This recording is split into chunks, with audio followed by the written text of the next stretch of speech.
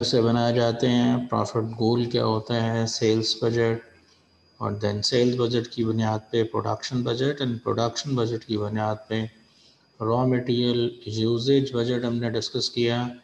And then raw material purchase budget in quantity raw material purchase budget and amount discuss किया हमने। Direct labour time का budget discuss किया। Direct labour cost का variable और fix factory overheads के budget के हवाले से भी बात हुई। और बजटेड प्रॉफिट एंड लॉस भी बनाया जा सकता है बेस्ड अपॉन दिस इंफॉर्मेशन कुछ प्रैक्टिस क्वेश्चंस uh, मैंने एक दो कॉम्प्रिहेंसिव क्लास में डिस्कस किए थे। बट uh, सेल uh, आपको कुछ करने को कहा गया था कुछ प्रैक्टिस एंड uh, कुछ अगर आपने कॉन्सेप्ट्स पढ़े हैं और उसमें कोई इशू है तो firstly you may raise your questions now और अदरवाइज़ अगर कोई नोमेरिकल सॉल्व करते हुए आपको प्रॉब्लम आया तो भी आप अपना सवाल पहले पूछ लें, ताकि फिर उससे नेक्स्ट बात है, हम वो कंटिन्यू कर सकें।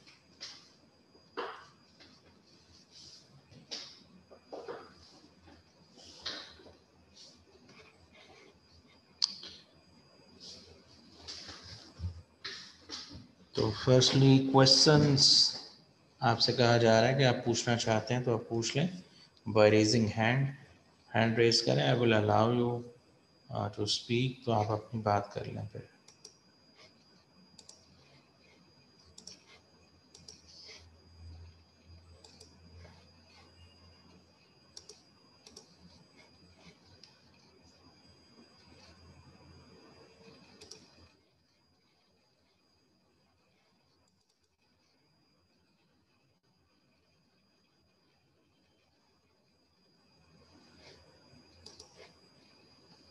जी once again I am asking if there is any question तो आप सवाल पूछ सकते हैं. If no question at all no issues हम अगली बात को कंटिन्यू करते हैं. जी.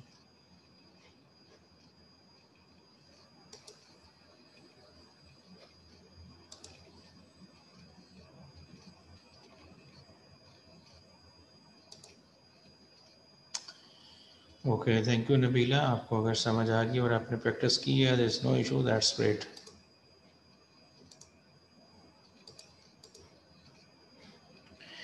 okay fine जी जिन बजट्स के हवाले से हमने लास्ट टाइम बात की थी उनसे आगे चलते हैं और कैश बजट किस तरह से बनाया जाता है उसको डिस्कस करते हैं।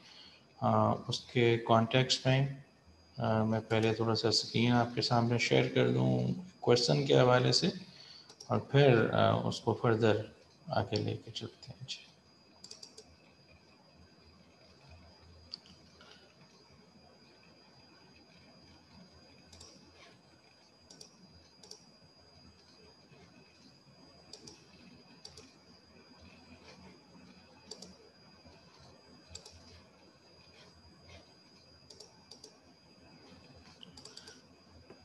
आई होप ये एक्सेल की फ़ाइल नज़र आ रही होगी।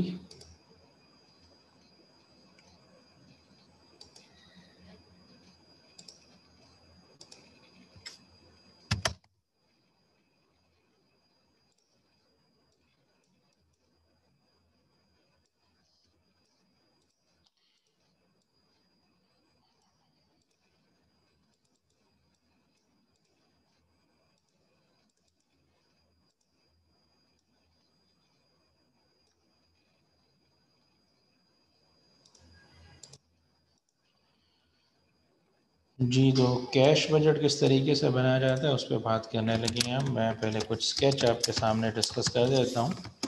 Cash budget is like a cash account जैसे आप कैश अकाउंट या कैश फ्लो स्टेटमेंट बनाते हैं जिसके अंदर आप रिसीट्स और पेमेंट ज़िक्र करते हैं that how much has been received and how much has been paid और बेस्ड अपॉन दैट आप एक क्लोजिंग बैलेंस आइडेंटिफाई करते हैं तो कैश बजट भी इसी तरह से एक प्रपोज कैश अकाउंट का नाम है that whatever we are going to be going to receive in the coming days and then whatever we are going to pay तो हम इस बुनियाद पे फोरकास्ट कर सकते हैं कि by the end of the period by the end of the day how much cash is available with us अगर कोई कैश का शॉर्टफॉल है तो शॉर्टफॉल को पूरा करने के लिए we may have to borrow अगर हमें बोरो करना पड़ता है तो हम बोरोइंग को टाइमली प्लान कर सकें। तो जितने बजट्स आपने बनाए हैं, उन बजट्स में तमाम में देखें तो आइधर पैसों का ज़िक्र आता है आइधर आपको पैसे रिसीव होने हैं या आइधर आपने उसकी बुनियाद पर पैसे पे करने हैं। फॉर एग्ज़ाम्पल जैसे बात हो रही है कि जब आप चीज़ें सेल करते हैं तो चीज़ें सेल करने के नतीजे में you would have to pay to that particular sorry जब आप चीज़ें सेल करते हैं तो वो जो पर्टिकुलर कस्टमर है, उससे आपने पैसे रिसीव करने हैं। अगर आप कैश पर सेल करते हैं तो आप इमीडिएटली रिसीव करेंगे, लेकिन अगर आप क्रेडिट पे सेल करते हैं तो you will receive it afterwards आप बाद में रिसीव करेंगे, कितने पैसे रिसीव करेंगे, कब रिसीव करेंगे, इसकी बुनियाद पे बात होगी। और इसी तरह जब आप अगर परचेज़ करते हैं चीज़ों को रॉ मटेरियल को तो यू नीड टू पे आप कितना अभी पे करेंगे, कितना फ्यूचर में पे करेंगे और किस टाइम पे पे करेंगे। लाइक वाइज आपने वर्कर्स जो हायर किए हुए हैं लेबरर्स जो हैं, उनको आपने पेमेंट करनी है तो आप उनको कब कब पे करेंगे, कितना पे करेंगे? आपने ओवर हेड्स के जितने भी एक्सपेंसेस हैं, उन तमाम एक्सपेंसेस में से कुछ ऐसे भी हैं जो नॉन कैश हैं, जैसे depreciation but rest of the expenses जो हैं, अगर वो कैश बेसिस पे है mean you need to pay for them तो आपने वो कब पे करना है, कितना पे करना है, उसको भी अकाउंट फॉर करने की ज़रूरत है। इन द सिमिलर वे आपको जो आपके सेलिंग एंड एडमिनिस्ट्रेटिव एक्सपेंसेस हैं, जिन्हें ऑपरेटिंग एक्सपेंसेस भी कहा जाता है, उनके लिए कितना आपने रिसीव पे करना है, वो आपको अकाउंट फॉर करने की ज़रूरत है। So if you want to know कि आपके पास किसी पीरियड के एंड पे कितना कैश अवेलेबल होगा तो वो बजट बनाया जाएगा कैश बजट ताकि प्लान किया जा सके कि हमारे पास कितना कैश आज अवेलेबल है और कितना आपको ड्यूरिंग द पीरियड मिलेगा। और कितना आप फ्यूचर में पे करेंगे and by the end of the day आपके पास कितना अवेलेबल होगा कैश जी तो ये स्टार्ट हो रहा है जी ओपनिंग बैलेंस है कि हमारे पास ओपनिंग बैलेंस आज क्या अवेलेबल है, इस पर ऐड करेंगे हम जितनी एक्सपेक्टेड कलेक्शंस हैं या एक्सपेक्टेड रिसीट्स कहा जा सकता है। एक्सपेक्टेड रिसीट्स इसमें आप ऐड करेंगे।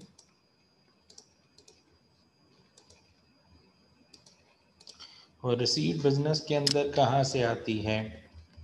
मेनली बिज़नेस के अंदर जो पैसे आने का सोर्स है कलेक्शन फ्रॉम कस्टमर्स होती है। कलेक्शन फॉर फ्रॉम कस्टमर्स से मुराद जो कस्टमर्स आपको पैसा दे रहे हैं। बेस्ड अपॉन द सेल्स अगर वो कैश बेसिस पे भी सेल्स हैं, या क्रेडिट बेसिस पे सेल हैं, जितने पैसे मिल रहे हैं, आप आप इसमें ऐड करेंगे। यूजुअली अगर हम बिज़नेस की बात करें बिजनेसेस के अंदर आमतौर पर जो मेन सोर्स ऑफ़ रिसीट होता है, वो cash from collection from customers ही होता है। सेल्स की बुनियाद पर पैसा रिसीव करते हैं but there may be some other receipts also अगर कोई और रिसीट होगी तो वो भी लिखी जा सकती है। मैं फॉर द टाइम यहाँ पे मेंशन कर रहा हूँ।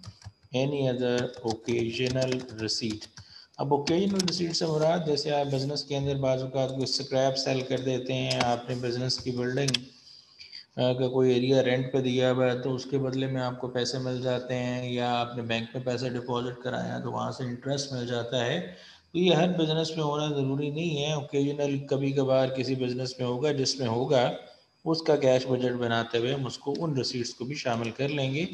वो एक से ज़्यादा भी हो सकती हैं रिसीट्स यानी कुछ कुछ भी हो सकती हैं, हम उनको यहाँ पे मेंशन कर लेंगे। इसके बाद इसमें से माइनस करेंगे हम expected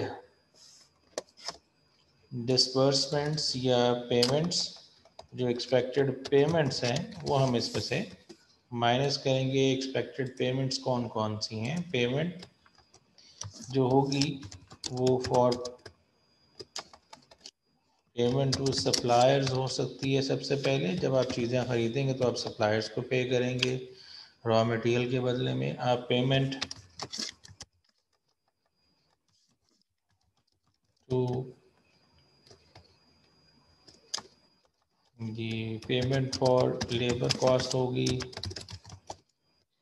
payment for factory overheads भी होगी और तमाम ओवरहेड्स बारी बारी लिखेंगे। जिसके बदले में पैसे पे किए जा रहे हैं। लाइक वाइज हम पेमेंट की बात करेंगे। पेमेंट फॉर ऑपरेटिंग एक्सपेंसेस ठीक है जी।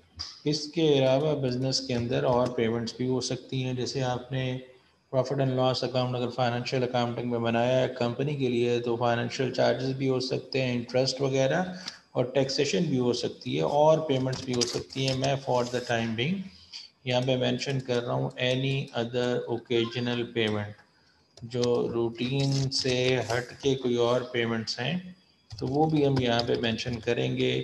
जितनी पेमेंट्स होगी वो माइनस कर देंगे। तो ये इस सूरत हाल के अंदर जो रिज़ल्ट होगा वो हमारा बजटेड कैश बैलेंस होगा, जिसे बजटेड क्लोजिंग कैश बैलेंस आप कह सकते हैं। कि हम आज खड़े हो गए प्लान कर रहे हैं कि हमारे पास एक ख़ास पीरियड के एंड पे कितना कैश अवेलेबल होगा लाइक ये हमारे पास ओपनिंग बैलेंस था। हम ये रिसीट की कस्टमर से कोई और सोर्स से रिसीट मिली, वो ऐड कर देंगे। और जो पेमेंट्स हमने करनी है, वो माइनस कर देंगे। अगर हम ये माइनस कर दें तो जो हमारे पास रिज़ल्ट होगा, वो हमारा बजटेड कैश बैलेंस होगा which will be at the end of the period ये जो हमारा कैश बैलेंस है, ये इस पीरियड के लिए अगर एंडिंग बैलेंस है तो फिर नेक्स्ट पीरियड के लिए this will act as an opening balance तो ये हमारे पास रिज़ल्ट निकलेगा। मैं इसको एक क्वेश्चन की हेल्प से सॉल्व करता हूँ, फिर आगे लेके चलते हैं जी, आगे इसको।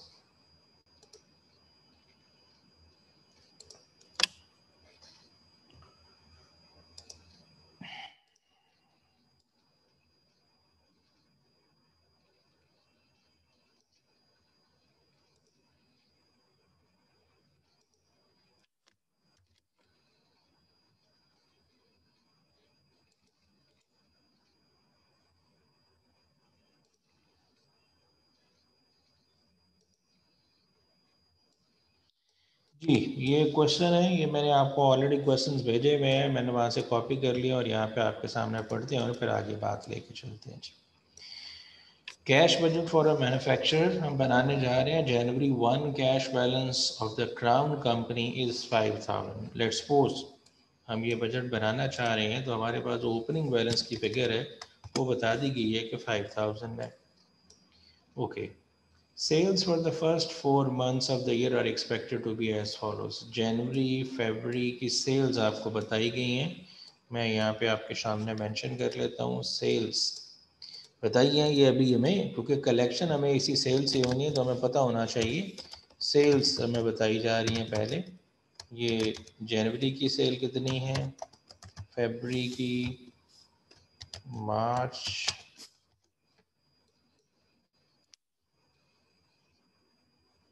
एंड अप्रैल ये सेल्स आपको बताई जा रही हैं जी।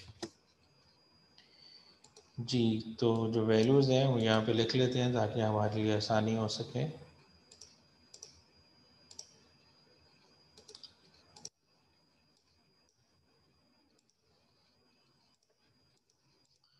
जी, जो जनवरी की सेल्स है that is sixty five thousand February की sale is fifty four thousand sixty six thousand sales है. मार्च की and sixty three thousand sales of April on January 1, uncollected accounts for November and December of the previous year are 13,500 and 39,150.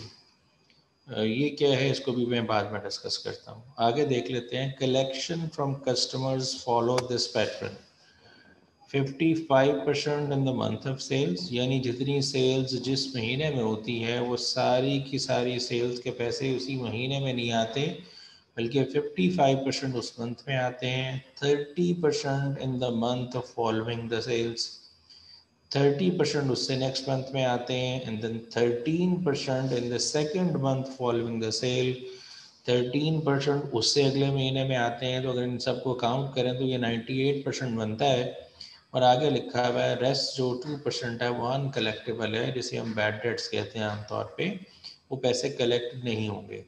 तो अगर हम समझने की कोशिश करें, जो चीज़ें जनवरी में बेची जाएँगी, उसके सारे पैसे जनवरी में नहीं आएँगे, बल्कि जनवरी में fifty percent fifty five percent आएँगे, कुछ पैसे फेबररी में आएँगे, कुछ पैसे जाके मार्च में आएँगे। इसी तरह जो फेबररी में सेल्स होगी, उसके कुछ पैसे फेबररी में, कुछ मार्च में और कुछ अप्रैल में आएँगे। और इसी तरह जो मार्च में सेल होगी, उसके कुछ पैसे मार्च में, फिर अप्रैल और फिर मई में जाके आएँगे। ये बे बेसिक जो कलेक्शन प्लान है, वो हमें पता चला है। अभी क्या बनाना है, वो पढ़ते हैं तो फिर उसकी लाइट में ये चीज़ें देखते हैं। फिर लिखा है मटेरियल परचेज फॉर दिसंबर वो टेन थाउज़ेंड दिसंबर के महीने में जो परचेज की गई थी, वो टेन थाउज़ेंड है। ये माजी की बात हो रही है और for cost purchase for the coming year are जनवरी में twelve thousand five hundred February में सिक्सटीन थाउज़ेंड फाइव हंड्रेड है मार्च में थर्टीन थाउज़ेंड एंड अप्रैल के अंदर फोर्टीन थाउज़ेंड डॉलर की परचेजेस हैं। Purchases are usually paid by the tenth of the month following the month of purchase purchase की पेमेंट उसी वक्त नहीं की जाती, बल्कि कब की जाती है? अगले महीने में। Purchases are usually paid by tenth of the month following the month of purchase तो टेक्निकली जो जनवरी में परचेज की गई है, उसके पैसे फरवरी में पे करेंगे, सारे ही पे करेंगे, लेकिन पे कब करेंगे? जनवरी की परचेज के पैसे फरवरी में फरवरी की परचेज के पैसे मार्च में, और मार्च के परचेज के पैसे सो ऑन अप्रैल में। लेकिन अगर हम कहें कि जनवरी में हम किस परचेजेस की पेमेंट करेंगे तो एज पर स्टेटमेंट जनवरी में, जनवरी की परचेज तो फरवरी में पे होनी है तो जो दिसंबर की परचेजेस होंगी, वो जनवरी के अंदर पे हो रही होंगी। ठीक है जी? और इसके अलावा लिखा हुआ है other cash expenditure of forty one thousand are forecasted per month इसके अलावा जो कैश एक्सपेंसेस हमारे फोरकास्ट किए गए हैं, वो फोर्टी वन थाउज़ेंड है। रिक्वायरमेंट नंबर वन है जी एक्सपेक्टेड कैश कलेक्शन बनाएँ आप जनवरी की भी और फेबरी की भी फेबरी की मांगी है, चले हम जनवरी की भी बनाते हैं ताकि हमें पता चल जाए। सो जनवरी में जो कलेक्शन होगी, अगर हम वो कैलकुलेट करना चाहें तो हमें कलेक्शन प्लान पता है। कलेक्शन प्लान क्या है? पहले वो लिख लेते हैं। फिफ्टी फाइव परसेंट कलेक्शन होनी है in the month of sale ठीक है जी। फिर थर्टी परसेंट कलेक्शन होनी है इन नेक्स्ट मंथ ठीक है? और फिर थर्टीन परसेंट कलेक्शन होनी है in next to next month ऐसा ही है जी? तो ये हमारा कलेक्शन प्लान बताया गया fifty five percent in the month of sale thirty percent in the next month thirteen percent in the next next month ये कलेक्शन प्लान है, हम इसी की लाइट में देखते हैं कि हमें पैसे कब कब मिलने हैं, हम इस चीज़ की बात कर रहे हैं। तो 55 percent in the month of sales से मुराद ये है कि जो जनवरी की परचेज है सेल्स है, वो 55 परसेंट जनवरी में कलेक्ट होगी, कुछ फिर फेबरी में, कुछ मार्च में कलेक्ट होगी। लेकिन अगर हम कलेक्शन अब जनवरी कैलकुलेट करना चाहते हैं कलेक्शन ऑफ़ जनवरी, यानी जनवरी के महीने में कितनी होगी कलेक्शन तो जनवरी के महीने में जनवरी की अपनी collection 55 percent of January sale तो होगी लेकिन क्या जनवरी के महीने में कलेक्शन जनवरी से अगले महीनों की आएगी? नहीं। जनवरी से पिछले महीनों की सेल की कलेक्शन जनवरी में आ रही होगी। तो जो 30 परसेंट कलेक्शन है 30 परसेंट ऑफ़ दिसंबर सेल्स के पैसे जनवरी में कलेक्ट होंगे, क्योंकि दिसंबर में जो सेल होगी, उसके 55 परसेंट दिसंबर में हो जाएँगे। 30 परसेंट जाके कब हो रहे होंगे? जनवरी के अंदर।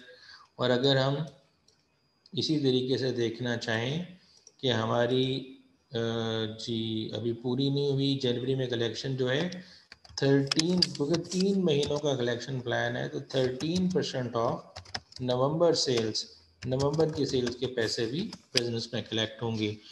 55 percent thirty percent thirteen percent इन इन महीनों की सेल का, जो कि पैटर्न थ्री थ्री मंथ्स का है तो यानी जो नवंबर में सेल हुई होगी लास्ट ईयर उसके कुछ पैसे नवंबर में आए होंगे, कुछ पैसे दिसंबर में आएँगे, कुछ पैसे जनवरी में आएँगे।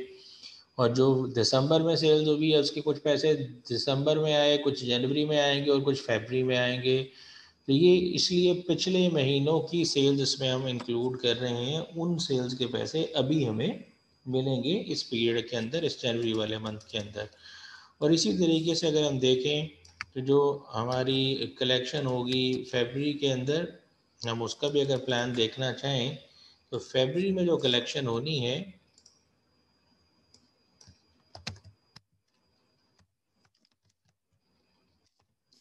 जी जो फेबरी में कलेक्शन होनी है फेबरी की अपनी सेल्स की कलेक्शन फेबरी में होगी और 50 परसेंट होगी 55 परसेंट अब फेबरी से पिछला जो महीना है, उसके पैसे जैसे दिसंबर जो सॉरी फेबरी से पिछला महीना जनवरी है, जनवरी के सेल्स के पैसे 55 परसेंट तो जनवरी में मिल गए और 30 परसेंट कब जाके मिलने हैं हमें? फेबरी के अंदर तो 30 percent of January sale February में आएगा।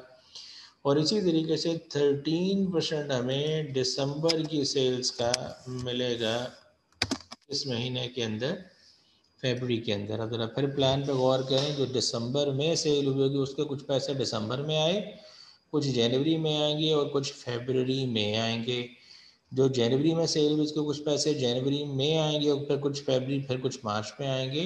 तो जनवरी फेबररी की अपनी सेल्स के पैसे 55 परसेंट यहाँ पर कलेक्ट किए जाएँगे। पहले ज़रा ये कलेक्शन प्लान जो मैंने डिस्कस किया है, अगर इसको समझ पाए हैं तो ज़रा ये बता दें पहले। और अगर कोई कन्फ्यूज़न है and you want to ask something तो आप पूछ सकते हैं। तो अभी तक जो मैंने बयान किया है, जो चीज़ डिस्कस की है, अगर ये समझ आ गई है तो कोई रिस्पॉन्ड कर दे। और अगर कोई क्यूरी है, ये कैसे कलेक्शन मैंने कैलकु सामने रखी है आपके, अगर क्यूरी है तो आप ज़रा बता देंगे। जी, अब्दुल सबूर साहब थैंक यू जी। गुलाम अब्बास साहब भी कह रहे हैं, समझ आ गई है ग्रेट तो अगर किसी का सवाल नहीं है तो मैं समझूँगा कि आपको समझ आ गई है। वेरी राइट जी। सो अगर ये इस तरह से प्लान है तो टेक्निकली हमें जो सेल्स रिक्वायर्ड है कलेक्शन कैलकुलेट करने के लिए वो जनवरी साथ के साथ साथ दिसंबर और नवंबर की सेल्स रिक्वायर्ड है, जबकि जो हमारे पास इंफॉर्मेशन अवेलेबल थी, इस इंफॉर्मेशन में हमें जनवरी से डाटा स्टार्ट किया गया। जनवरी की सेल तो अवेलेबल है, लेकिन इससे पिछले महीनों की सेल्स हमारे पास अवेलेबल नहीं है। तो टेक्निकली हमें, ये टेक्निकली हमें उन दो महीनों की सेल्स भी रिक्वायर्ड है। अगर उन दो महीनों की सेल्स हम कैलकुलेट करते हैं तो जाके हमारा काम बनता है। यानी हमें नवंबर की सेल्स भी रिक्वायर्ड है, हमें दिसंबर की सेल्स भी रिक्वायर्ड है। अब वो नवंबर और दिसंबर की सेल्स की इन्फॉर्मेशन डाटा में तो मौजूद नहीं है, लेकिन डाटा में कुछ बताया गया, हम उसकी मदद से ही कैलकुलेट करते हैं। अब जना वो स्टेटमेंट मैंने कहा था, मैं बाद में डिस्कस करता हूँ आपके सामने रखते हैं। On January one uncollected accounts for November and December were of the previous year are 12,500 and 39,150 ये कलेक्टेड अमाउंट्स की बात नहीं हो रही अनकलेक्टेड यानी जो पैसे जनवरी की पहली डेट पे या दूसरे लफ्ज़ों में दिसंबर की इकतीस तारीख पे जो पैसे पिछले महीनों की सेल्स के कलेक्ट नहीं हुए ये सेल्स नहीं बताई जा रही बल्कि जो कलेक्ट नहीं हुए वो बताए जा रहे हैं नवंबर के पैसे बताए जा रहे हैं जो कलेक्ट नहीं हुए थर्टीन थाउज़ेंड फाइव हंड्रेड दिसंबर के जो पैसे बताए जा रहे हैं कलेक्ट नहीं हुए, वो जी, दिसंबर के जो पैसे बताए जा रहे हैं कलेक्ट नहीं हुए, वो बताए जा रहे हैं thirty nine thousand one fifty अब ज़रा बात को समझना है, ये सेल्स नहीं है, हमें तो सेल्स की तलाश है बिकॉज़ हम सेल्स पता होगा तो उसकी बुनियाद पे हम कैलकुलेट कर पाएँगे कि कितनी कलेक्शन अब जनवरी और फेबरी में इन सेल्स की होनी है। ये बताया गया कितनी अनकलेक्टेड अमाउंट है तो कितनी अनकलेक्टेड अमाउंट है, इससे हम आगे चलेंगे और सेल्स कैलकुलेट करेंगे। अगर अब नवंबर वाली कैलकुलेशन देखें तो नवंबर के सेल्स के नवंबर में पैसे कितने परसेंट कलेक्ट हो गए होंगे? फिफ्टी फाइव परसेंट ऐसा ही है। फिर नवंबर की सेल्स के कुछ पैसे दिसंबर में कलेक्ट हुए होंगे थर्टी परसेंट तो हमें ये थर्टीन थाउज़ेंड फाइव हंड्रेड जो बताया गया है, ये बताया गया है on which date first January या दूसरे लफ्ज़ों के अंदर थर्टी फ़र्स्ट दिसंबर। तो यानी नवंबर और दिसंबर तो गुजर गया और उनकी कलेक्शन भी हो चुकी है। सो टोटल अमाउंट जो है उसमें से 85 परसेंट कलेक्शन हो चुकी है। और ये अमाउंट जो है, ये रिफ्लेक्ट कर रही है फिफ्टीन परसेंट को। तो ये अमाउंट जो है, ये बराबर है फिफ्टीन परसेंट के।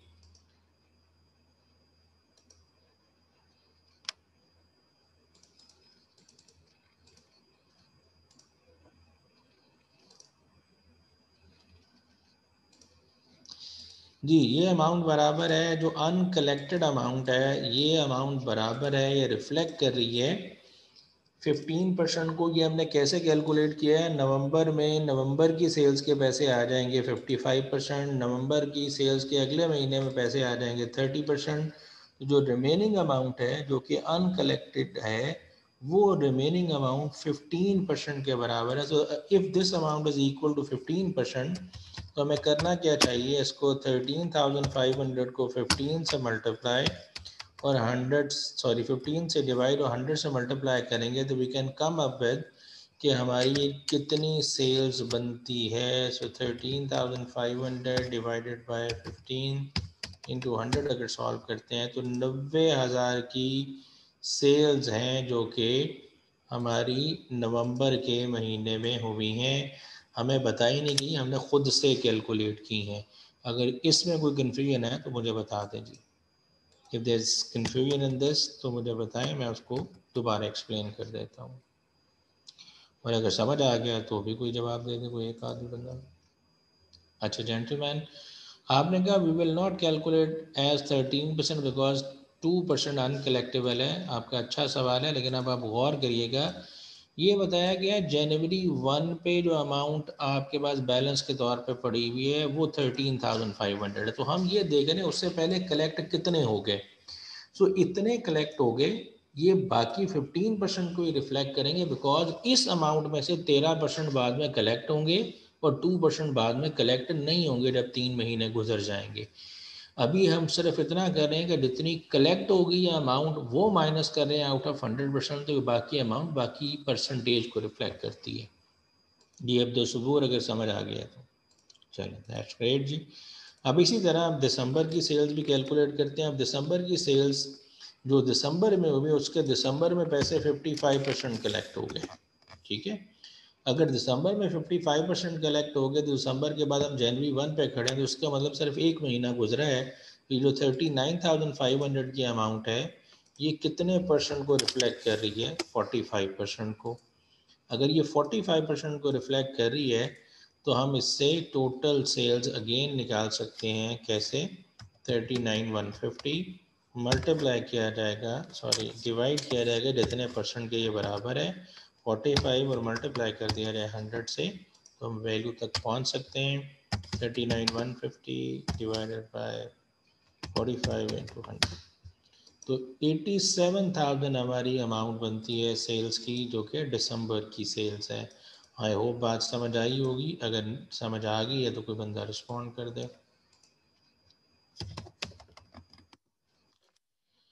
जी, अगर समझ आ गई है तो बता दें। एनी वन कोई एक वॉल्टियर जो ये बता सके कि समझ आ गई है? दैट्स ग्रेट जी, गुलाम अब्बास साहब। Okay now if we done with this अब हम पहले ये कलेक्शंस कैलकुलेट करते हैं। ठीक है जी? हमें बताया गया कि ये कलेक्शन प्लान हमारा चलेगा कि जो दिसंबर जनवरी की कलेक्शन है, उसको अगर कैलकुलेट करना चाहें तो जितनी सेल्स जनवरी के उसका 55 परसेंट हमें मिलेगा। तो जनवरी की सेल्स हमारे सामने मौजूद है। हम कर सकते हैं उसको। मैं आपकी आसानी के लिए यहाँ पे लिख के देता हूँ sixty five thousand multiplied by आप करेंगे जनाब इसका फिफ्टी फाइव परसेंट जो रिज़ल्ट निकलेगा, वो हम आगे लिख लेते हैं। ठीक है?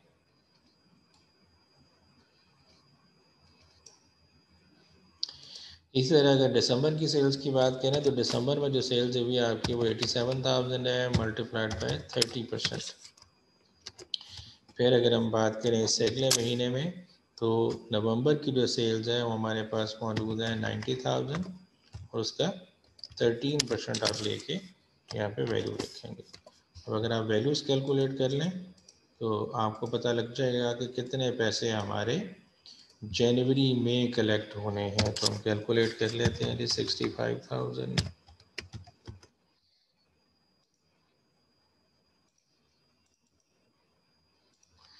जी, फिर इसके बाद eighty seven thousand multiplied by thirty percent ji then ninety thousand multiplied by thirteen percent ये पहले वाला मैंने गलत कर दिया, ये फिफ्टी फाइव परसेंट था।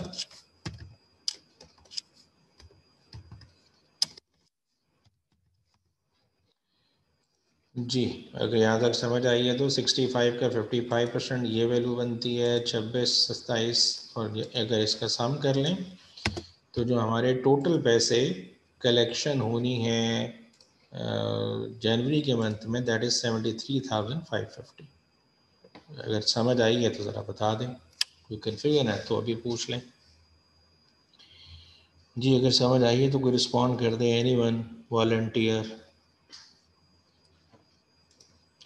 चलें अब्दुल सबूर साहब, आज आपको समझ आ रही है, बाकी लोग तो मेरे ख्याल में सो रहे हैं। एनी वे से आगे चलते हैं। जी नाउ कलेक्शन ऑफ़ फेबरी अब हम फेबरी की कलेक्शन की बात कर रहे हैं। तो फेबरी की कलेक्शन का तरीक़ाकार हमारे सामने मौजूद है। फिफ्टी मैं ज़रा इसको कलर कर देता हूँ। पार्टीशन सी हो जाए ज़रा हमारे पास।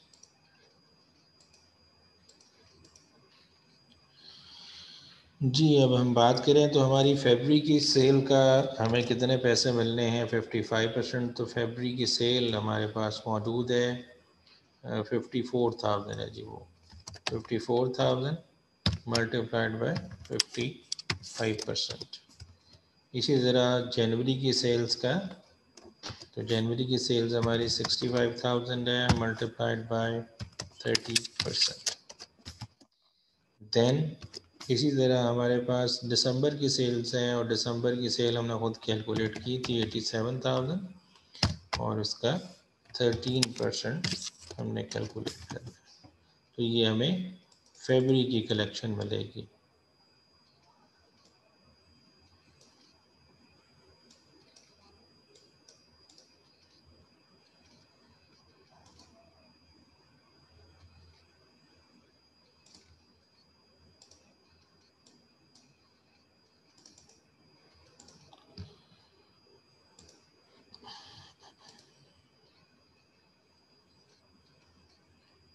जी, मानूर आप पूछ रही हैं, नवंबर की सेल्स कैसे कैलकुलेट की हैं, मैं दोबारा बता देता हूँ आपको, पहले ज़रा इसको हम सॉल्व करें।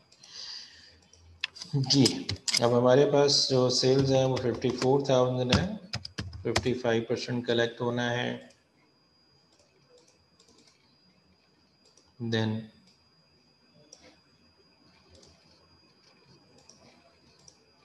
कि देन आपका सिक्सटी फाइव थाउज़ेंड सेल्स है और उसका थर्टी परसेंट कलेक्ट होना है देन एटी सेवन थाउज़ेंड की सेल है और उसका थर्टीन परसेंट कलेक्ट होना है। और अगर इसका सम कर लें तो ये टोटल पैसे जो हमारे फेबरी में कलेक्ट होंगे, वो हमें पता चलते हैं जी।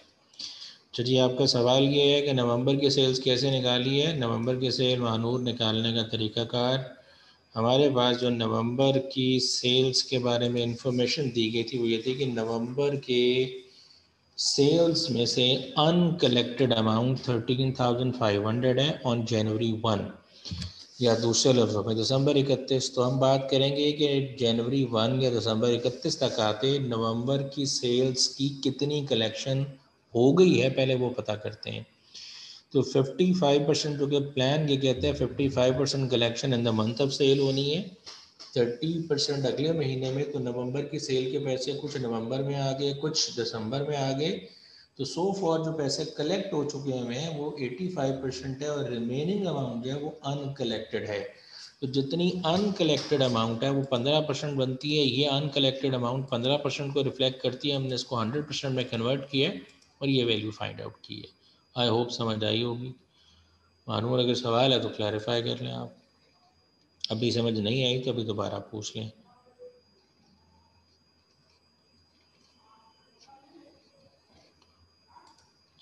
सवाल समझ आ गया तो फिर रिस्पॉन्ड कर दें। आपने सवाल किया तो बता दें आपको समझ आ गया। जी, ठीक है ओके नाउ हमने ये कलेक्शंस कैलकुलेट कर ली। अब हम ज़रा रिक्वायरमेंट की तरफ़ चाहते हैं। जो क्वेश्चन में रिक्वायरमेंट हमें कही गई है। जी।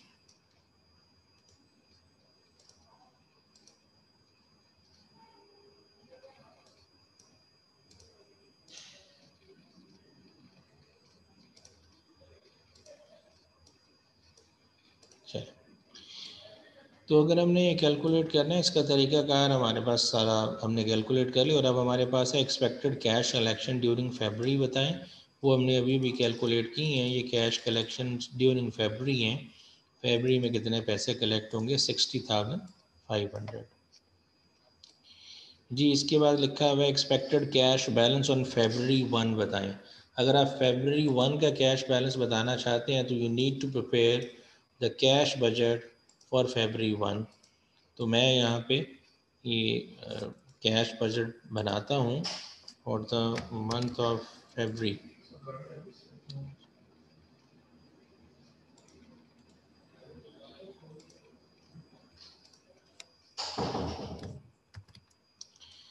जी, मैं कैश बजट बनाता हूँ for the month of February मैंने ज़रा आसानी के लिए ये जी, ये मैंने फेबरी के सॉरी जनवरी के तो जनवरी के फेबरी वन का बैलेंस चूँकि पूछा गया है तो जनवरी के जो बजट बनेगा जनवरी के एंड पे जो बचेगा वो हमारा फेबरी का ओपनिंग बैलेंस होगा। तो ओपनिंग बैलेंस हमारे पास जनवरी के स्टार्ट पे बताया हुआ था, पहली लाइन में पाँच हज़ार। हमने इसमें ऐड करनी है expected receipts collection from customers तो वो हमने कैलकुलेट की है, साठ हज़ार पाँच सौ दस बनती है। अगर आप दोबारा मैं आपको दिखा देता हूँ तो जनवरी फेबरी की हमने कलेक्शन निकाली है। जनवरी की कलेक्शन तिहत्तर पाँच सौ पचास है और फेबरी की कलेक्शन ये है। तो जनवरी का बजट बना रहे हैं तो जनवरी की कलेक्शन इसमें ऐड करेंगे। सेवेंटी थ्री फाइव फिफ्टी हमारी कलेक्शन है, वो हम इसमें शामिल कर लेते हैं। सेवेंटी थ्री फाइव फिफ्टी अब चूँकि और कुछ नहीं लिखा हुआ है, यानी अदर ओकेजनल रिसीट तो टेक्निकली ये हमें कुछ लिखने की ज़रूरत नहीं है। अगर होगी तो हम वो मेंशन कर लेंगे। अभी हमें ऐसे जिसको लिखने की ज़रूरत नहीं है। अब इसमें से माइनस करेंगे expected payment payment to suppliers के बारे में, जो परचेज़ के बदले में पेमेंट होनी है, वो बताया गया था कि मटेरियल परचेजेस फॉर दिसंबर व टेन थाउज़ेंड और फोर कॉस्ट परचेज अगले महीनों की बताई गई थी और फिर लिखा गया था कि purchases are usually paid by the tenth of the month following the month of purchase जिस महीने में ख़रीदा जाता है, उसमें पे नहीं किया जाता, बल्कि उससे अगले महीने की दस तारीख को जनवरी में जो पेमेंट हो रही होगी, वो दिसंबर की परचेज़ की हो रही होगी और दिसंबर की परचेज़ हमें बताई गई है टेन थाउज़ेंड है। तो टेन थाउज़ेंड पे हो जाएगा सप्लायर को फॉर परचेजेस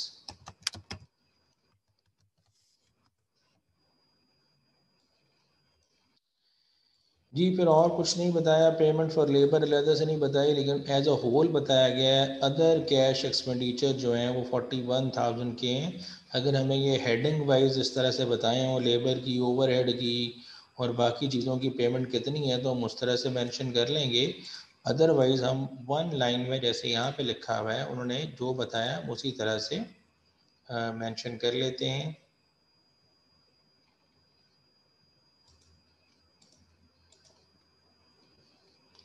जी तो माइनस कर लेते हैं इसके अंदर से अदर एक्सपेंडिचर और वो कितने बताए गए हैं? अदर एक्सपेंडिचर और forty one thousand each month और ये कैश एक्सपेंडिचर है, खुद लिखा हुआ है फोर्टी वन थाउज़ेंड अगर हम बजटेड कैश बैलेंस निकालना चाहते हैं at the end of the period पाँच हज़ार ओपनिंग बैलेंस था, तिहत्तर पाँच सौ पचास हमें रिसीव हुआ, हम इसमें से माइनस करेंगे जो हमने पेमेंट्स बजट की हैं। तो ये हमारे पास सत्ताईस पाँच सौ पचास का बजटेड कैश बैलेंस है at the end of January और अगर ये कैश बैलेंस है at the end of January तो हम फेबररी का बजट बनाना चाहें तो वो भी बना सकते हैं तरीक़ाकार। मैं उसी के सामने कॉलम लिख दिया मैंने फेबररी का। तो जो जनवरी का एंडिंग बैलेंस है, वो फेबररी का ओपनिंग बैलेंस होगा। तो दूसरे लफ्ज़ों में यहाँ पे जो बैलेंस होगा, वो सत्ताईस पाँच सौ पचास होगा। इसमें ऐड करेंगे जितनी फेबररी की हमने कलेक्शन की है। तो फेबररी की जो कलेक्शन थी, वो हमने कैलकुलेट की थी, वो sixty thousand five one zero थी। Thousand one fifty sorry five one zero sixty thousand five one zero वो लिख लिया हमने। इसके अलावा पेमेंट टू सप्लायर और सप्लायर को पेमेंट क्या करनी है हमने?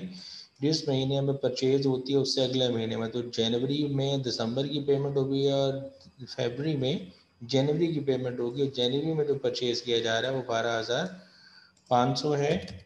और इसके अलावा अदर कैश एक्सपेंडिचर हर मंथ के फोर्टी वन थाउज़ेंड थे तो ये हमारा क्लोजिंग बैलेंस निकल आएगा।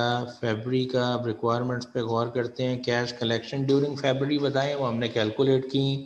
फेबरी वन का ओपनिंग बैलेंस बताएँ तो दूसरे लफ्ज़ों में जो जनवरी का एंडिंग बैलेंस है, वो फेबरी का ओपनिंग होगा। और फिर इसके अलावा cash balance at the end of February 28 कहा गया, यानी क्लोजिंग कैश बैलेंस नहीं बताएँ, वो हमने क्लोजिंग कैश बैलेंस भी कैलकुलेट कर लिया। सो अगर समझ आया है तो बताएँ, अगर कोई इशू है तो फिर आप पूछ सकते हैं। अगर समझ आ गया है तो वेल और अगर कोई इशू है तो आप पूछ लें अदरवाइज़ रिस्पॉन्ड कर दें कि हमें समझ आ गया है। जी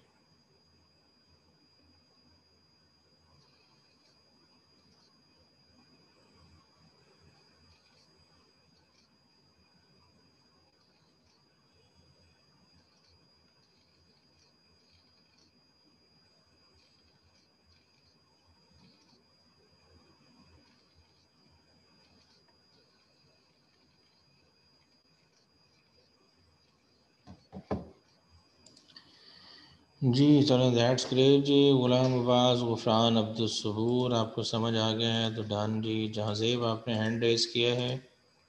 लेट मी अलाउ यू कि आप अपना सवाल कर सकें। जी जहाजेब आप पूछे। अस्सलाम वालेकुम सर। वालेकुम अस्सलाम। सर ये तो मसलन ठीक है मसलन अगर ये मसलन आप कह रहे हैं इसमें पास टाइम ऐसा भी हो सकता है कि अगर कैश मसलन नेगेटिव में भी जा सकता है कैश बैलेंस उसमें जा मसलन मसलन के अलावा भी जा सकता है। जी बिल्कुल जा सकता है जनाब।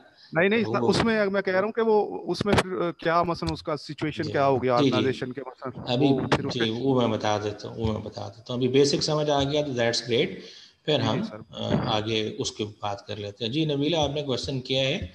कि हम अनकलेक्टेबल्स का क्या करेंगे? तो जो पैसे कलेक्ट नहीं होंगे, उसका कैश से लेना देना नहीं होता। आप ज़रा बेसिक जर्नल एंट्रीज को अगर रिकॉल कर सकें, जब आप कोई एक्सपेंस पे करते हैं तो कैश क्रेडिट होता है।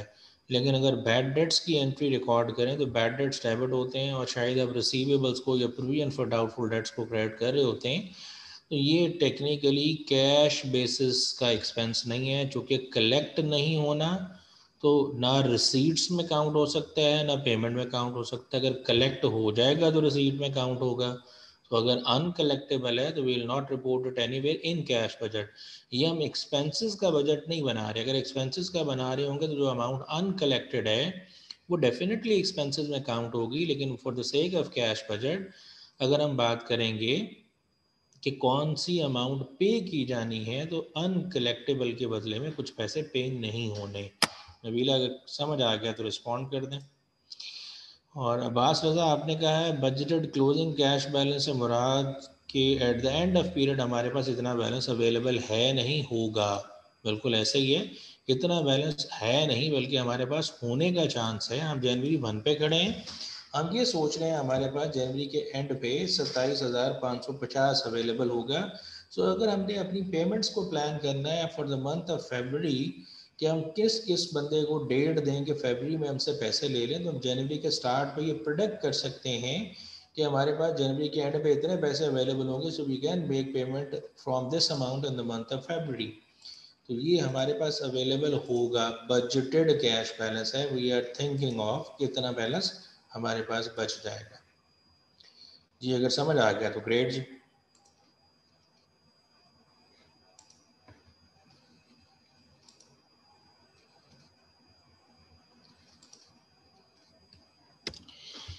चलिए अगर समझ आ गया तो दैट्स ग्रेट अब जो एक साहब ने सवाल किया है, मैं उसकी लाइट में एक और क्वेश्चन यहाँ पे आपके सामने डिस्कस कर देता हूँ, जिससे आई होप आपको समझ आ जाएगा कि अगर ये साहब ने कहा कि अगर नेगेटिव बच जाए तो क्या होगा? वो मैं आपसे शेयर करता हूँ जनाब।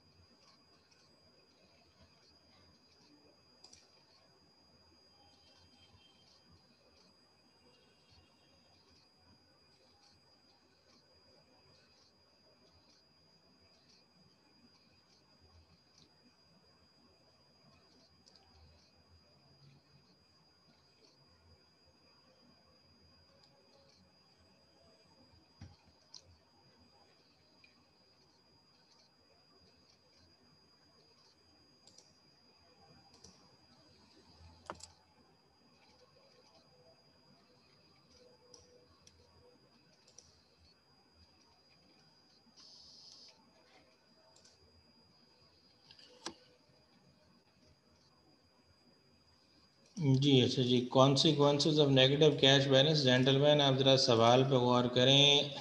हम अभी बजट बना रहे हैं। जब एक्चुअली नेगेटिव बैलेंस आएगा तो उसका तो कोई रिस्पॉन्सिबल होगा।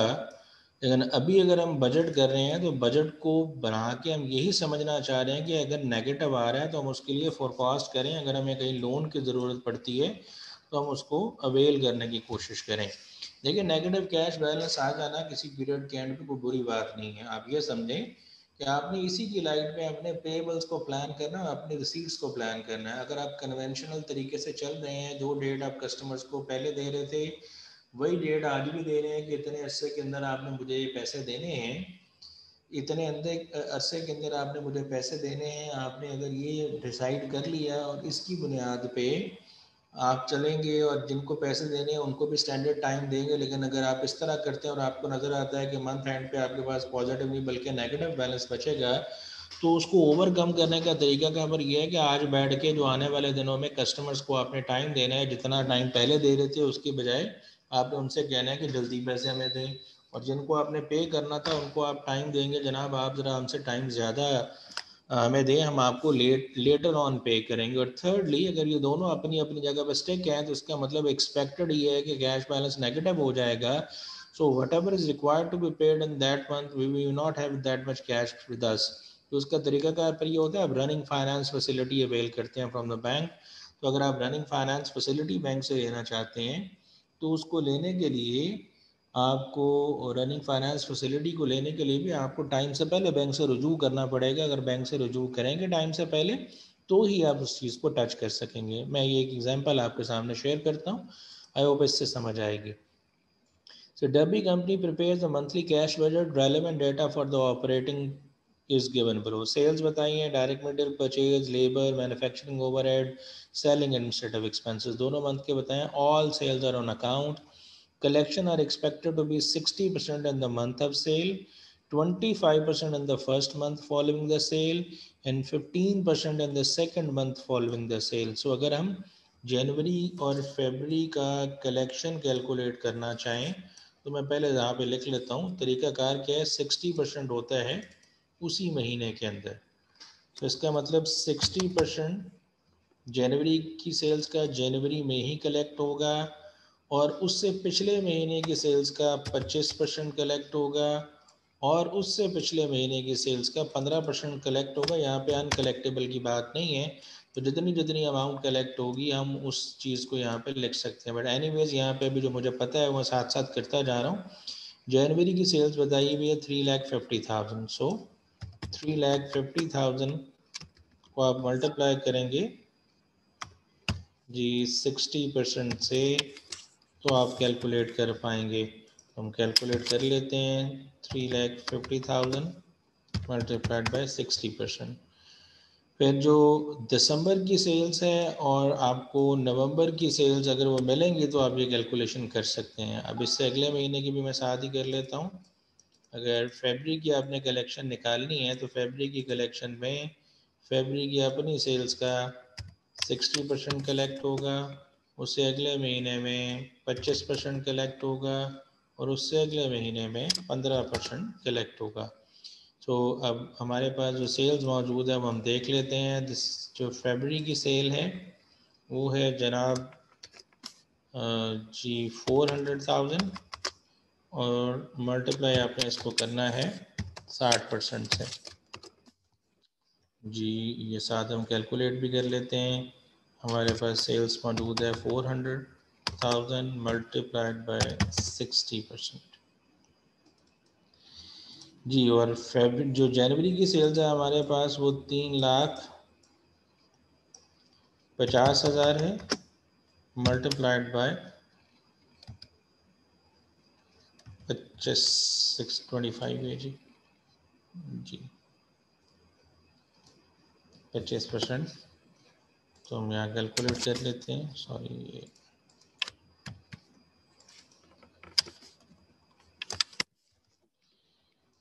जी तो three lakh fifty thousand multiplied by पच्चीस परसेंट।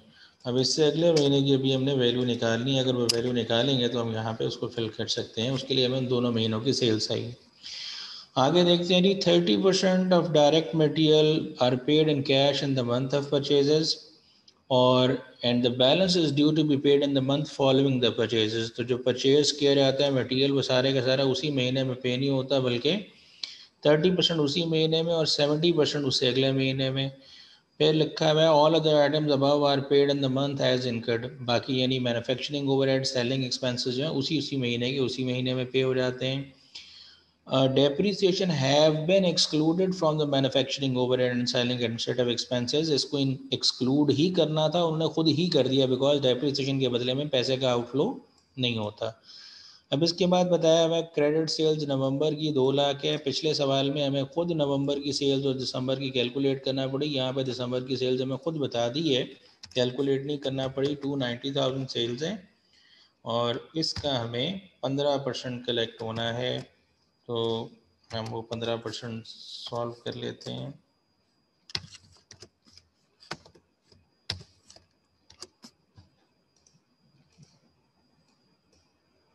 जी, नवंबर की, दिसंबर की sales two lakh ninety thousand multiplied by fifteen percent तो ये हमारी कलेक्शन बनती है फेबरी की और जनवरी की भी कैलकुलेट कर लेते हैं। हमारे पास अब दिसंबर और नवंबर की सेल्स की इंफॉर्मेशन आ गई है। जी, दिसंबर की sales two ninety thousand multiplied by forty five percent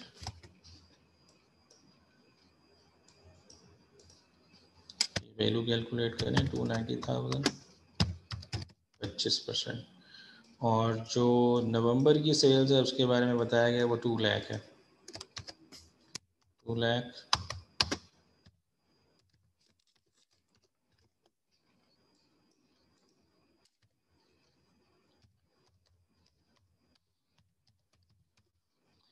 ये हमारी कलेक्शन बनती है।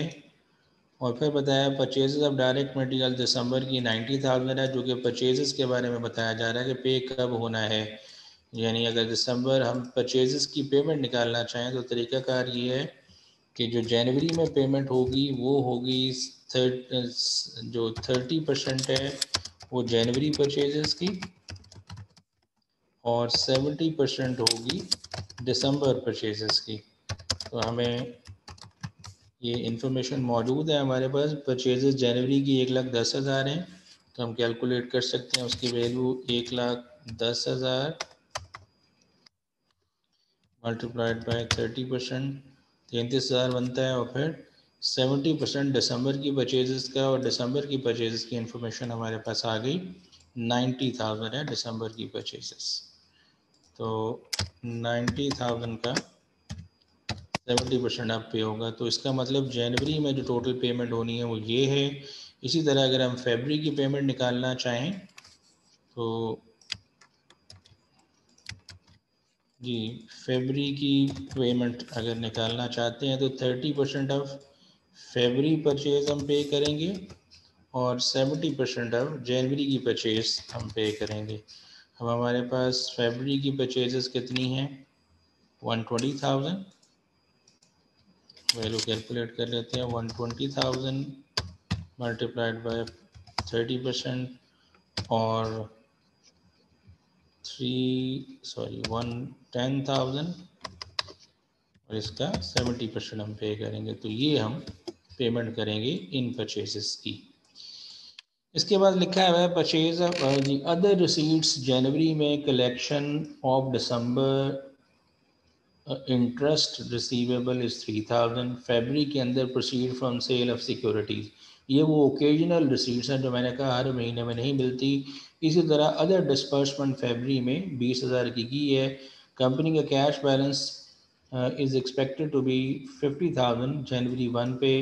कंपनी का फिफ्टी थाउज़ेंड अगर बैलेंस है तो हम स्टार्ट करते हैं नहीं यहाँ पर लिखना। फिफ्टी थाउज़ेंड हमारा ओपनिंग बैलेंस है। जी उसी तरह से हम कैलकुलेट uh, करेंगे जनवरी के लिए भी और फेबररी के लिए भी तो मैं यहाँ पे इंसर्ट कर देता हूँ। हम पहले जनवरी का बजट बना रहे हैं। फिफ्टी थाउज़ेंड का ऑपरिंग बैलेंस है और कैश कलेक्शन फ्रॉम कस्टमर्स वो हमें बताई गई है डेटा में, वो हम देख लेते हैं जी। हमने खुद जो कैलकुलेट की है, जी, वो जी हमने कैलकुलेट की है जो हमारी कलेक्शन बनती है तीन लाख बारह हज़ार पाँच सौ जनवरी की कलेक्शन है। तो तीन लाख बारह हज़ार पाँच सौ इसके अलावा अदर ओकेजनल रिसीट के बारे में भी कुछ ना कुछ बताया हुआ है, वो भी हमें देखना होगा जी, कितना बताया हुआ है, मैं पर्सन उठा लूँ।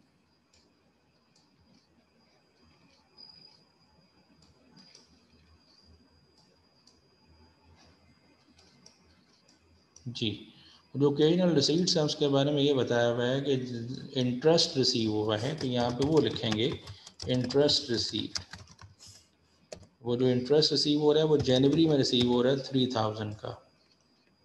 जी। और इसके बाद हम पेमेंट्स की बात करेंगे तो payment to supplier for purchases वो हमने जनवरी की परचेजेस की पेमेंट निकाली है यहाँ पे। जी, वो जनवरी की परचेजेस की पेमेंट हमने निकाली है नाइन्टी सिक्स थाउज़ेंड तो जी नाइन्टी सिक्स थाउज़ेंड इसके अलावा बाकी तमाम एक्सपेंसेस के बारे में बताया गया कि वो उसी उसी महीने में पे होने हैं। तो डायरेक्ट लेबर जो है, जी वो पे की जाएगी एटी फाइव थाउज़ेंड जनवरी में।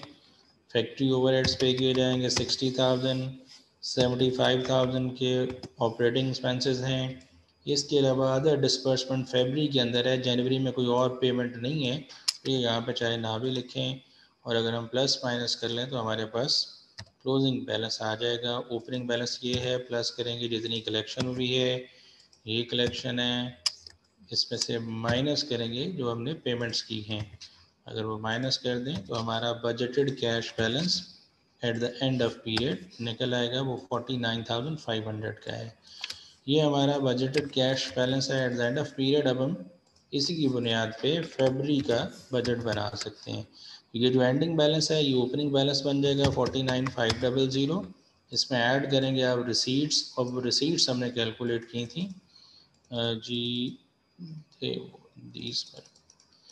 जी three lakh seventy one thousand और जो पेमेंट की है, हमने परचेजेस की, वो एक लाख तेरह हज़ार है। तो थ्री सेवेंटी वन और एक लाख तेरह हज़ार, दोनों यहाँ पे अभी चाहिए होगा।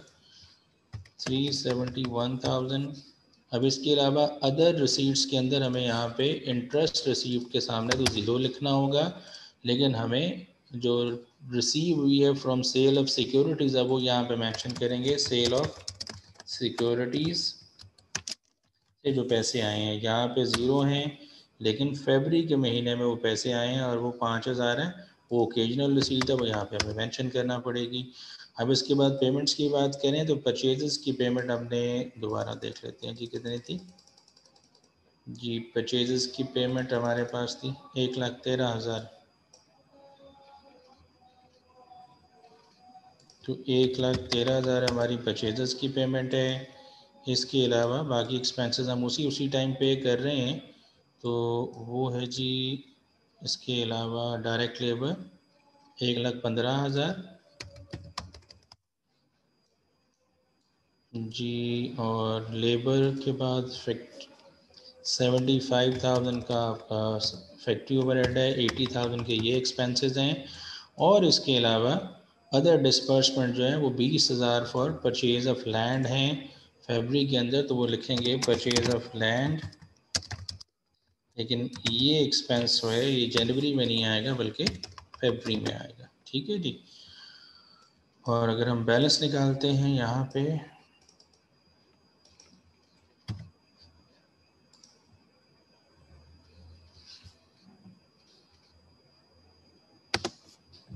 तो बाईस हज़ार पाँच सौ बनता है। अब आप देख लें, यहाँ पे एक रिक्वायरमेंट है the company want minimum cash balance of forty thousand तो अगर कंपनी मिनिमम कैश बैलेंस कुछ मेंटेन करना चाहती है तो इसका मतलब यहाँ पे कंपनी को कुछ ना कुछ बोरो करना पड़ेगा। वो ऐड हम यहाँ पे करेंगे, ये दो चीज़ें मैं ब्रेड के साथ ऐड कर देता हूँ, इनको आपने समझ लेना है कि हम इसमें ऐड करेंगे। अगर हमें कोई डेफिसिट होता है नेगेटिव बैलेंस आ जाता है या पॉजिटिव आ जाता है तो हम जो जितना शॉर्टफॉल होता है उसको बोरो करते हैं। तो हम बोरविंग को ऐड करेंगे। जी, वो कितनी बोरिंग करनी पड़ेगी? बाईस हज़ार पाँच सौ आपका बैलेंस आ रहा है, जबकि आपको चालीस हज़ार चाहिए। आप चालीस हज़ार में से बाईस पाँच सौ माइनस कर दें तो आपको सत्रह हज़ार पाँच सौ बोरो करना चाहिए। ये जो सत्रह हज़ार पाँच सौ है, ये आप इसके अंदर ऐड कर दें तो आपका क्लोजिंग बैलेंस जो है वो चालीस हज़ार हो जाएगा। हाँ अगर कोई आपने बोरो किया हुआ है इसी तरह से और अगले महीने में सरप्लस बैलेंस आ जाता है तो आप उसको रीपे करेंगे। तो ऐसी सूरत हाल में रीपेमेंट ऑफ़ बोरोविंग लिखा जाता है एंड पे और वो हम यहाँ पे लिख के उसमें से माइनस कर देंगे। अभी चूँकि कुछ भी माइनस नहीं करने की ज़रूरत है। तो आई होप ये बात समझ आई होगी। अगर यहाँ पे साहब ने कहा नेगेटिव है तो जैसे अगर नेगेटिव आ जाता है तो अभी बाईस पाँच सौ आ रहा था बैलेंस हम चालीस हज़ार चाह रहे हैं। अगर हम पाँच, दस हज़ार जितना भी बैलेंस चाह रहे हैं, अगर नेगेटिव आ जाता है तो वो नेगेटिव और साथ जितना आपको मिनिमम बैलेंस रिक्वायर्ड है, उन दोनों को मिला के आप बैंक से लाइन ऑफ़ क्रेडिट की फैसिलिटी ले सकते हैं और आप उस शॉर्टफॉल को पूरा कर सकते हैं। आई होप समझ आई होगी बात।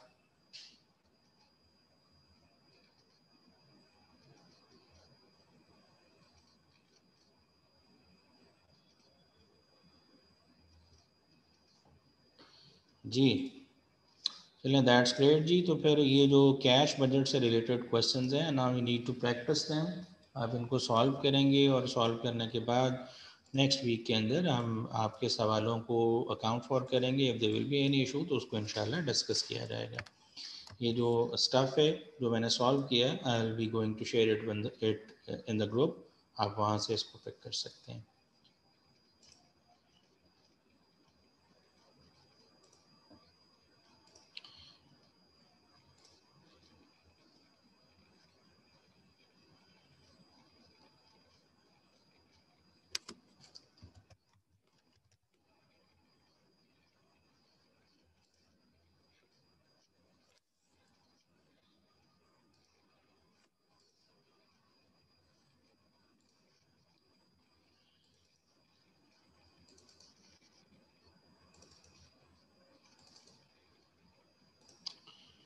जी आई होप समझ आई होगी। अगर कोई in case of massive sale return cash budget register obviously ये बजट है। जेंटलमैन इसी को फोरकास्ट करते हुए हम बोरिंग का प्लान करें। अगर हमने जितनी कलेक्शन सोची थी, हो जाएगी। अगर वो नहीं होती तो हमारे लिए अलार्म बजेगा तो हम फ्यूचर की पेमेंट्स को उस हिसाब से फिर अलाइन करेंगे। यही इसीलिए तो फिर बजट बनाया जा रहा है। चलें जी okay that's all for the day इनशाला फिर नेक्स्ट वीक में आपसे मुलाकात होती है जी। जी मानूर आप भी सवाल पूछ लें क्विकली जी मान सर गलती से हो गया था। अच्छा जी ओके समझ आ गई है बात। यस सर समझ आ गई। चलें दैट्स ग्रेट जी। फिर आप प्रैक्टिस करिएगा और नेक्स्ट वीक में कुछ सवाल होगा तो आप पूछिएगा जी। अब्दुल सबूर आप भी पूछ लें।